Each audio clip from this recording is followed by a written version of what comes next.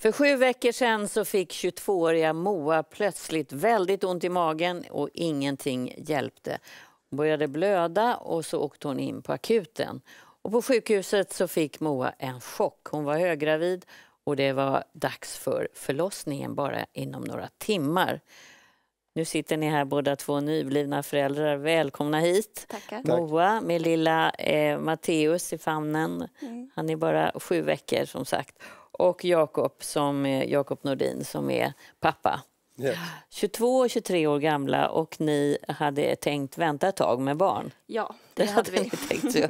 Men det här är ju så märkligt hur du kan ha gått omkring och inte haft en aning om att du var Ja. färdig för förlossning. Nej, och ingen såg det heller.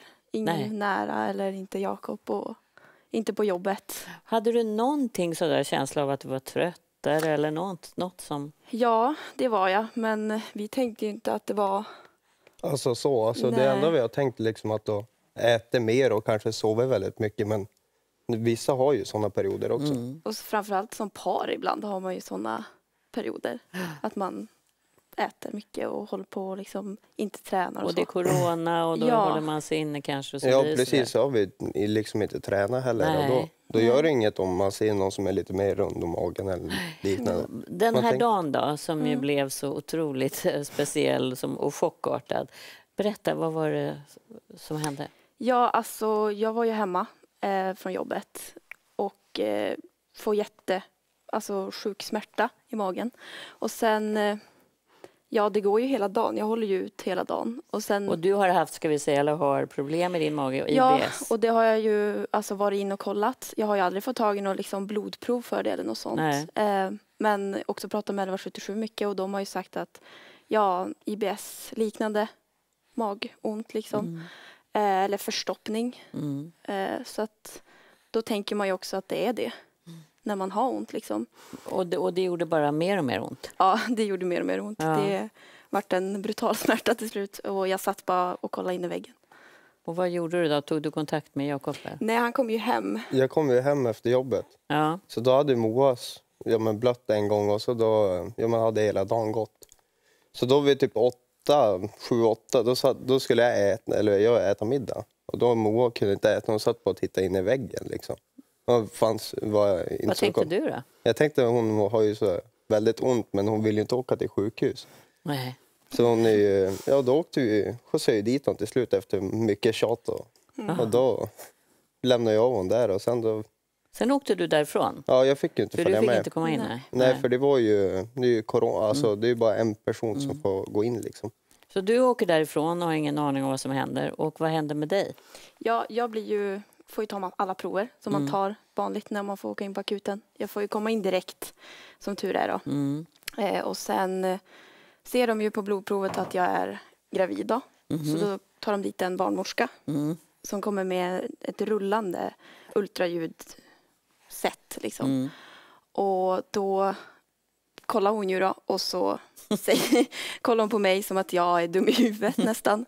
Eh, och sen säger hon Vad säger hon då? Kommer du ihåg det? Alltså jag, ja, nästan inte men hon säger liksom att du är ju höggravid, säger hon till mig. Och hur? Vad, vad tänkte du? Ja då, jag kom, ja det var nästan som att det slocknade. Då vart jag Chockad? chockad, ledsen, arg, allt på samma gång. Och sen var det bara iväg till förlossningen? Ja, så kommer två andra akutpersonal liksom och då får jag direkt upp till förlossningen. Jag kommer du ihåg de tankar du hade längs den här? Ja. Det går ju så fort här allting. Ja, alltså jag tänker ju bara, eh, vi har ju ingenting liksom. Inga kläder, hur ska jag kunna ta hand om ett barn? Jaha. Alltså, Du är 22 år och ja, var på och vi väg. var, På... vi, alltså jag kände, hur ska Jakob klara sig? Hur ska vi, ja det var liksom Mm. mycket tankar. Ni har varit tillsammans ett år, är det så? Ja. Ja, ungefär ett år. Mm. Och vad händer, eh, när får du reda på vad som händer där inne på sjukhuset? Ja, så typ efter en timme jag får det därifrån då går jag ju hemma och funderar liksom vad är det som har hänt? Ja, du är orolig? ja jag är orolig. För vi trodde att det hade varit ett missfall. Mm. För att ju levt våra Eftersom vanliga liv. blödning? Ja, precis. Mm.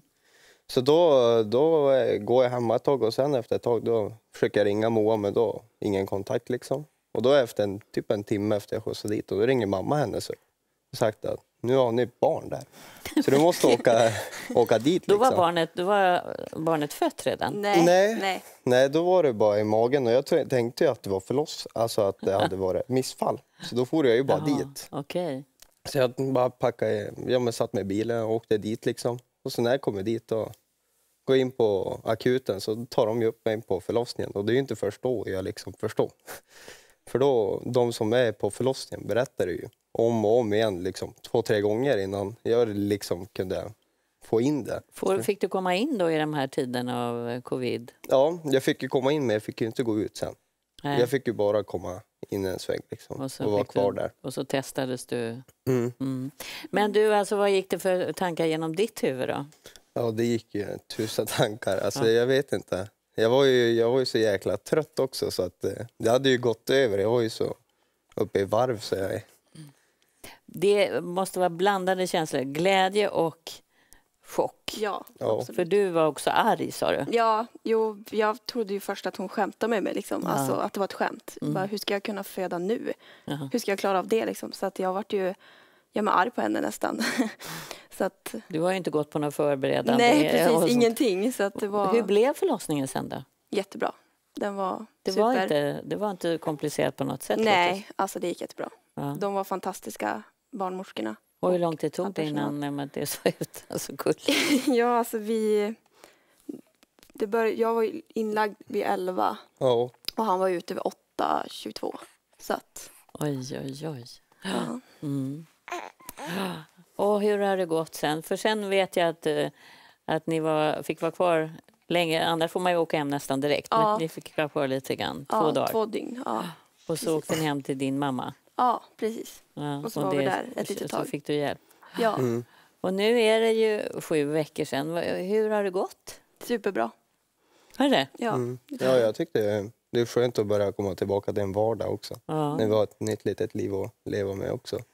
Han verkar så otroligt nöjsfull Ja. och lätt och har ja, han är snäll. Väldigt snäll. Vi har haft tur. ju, Ni har haft tur, ja.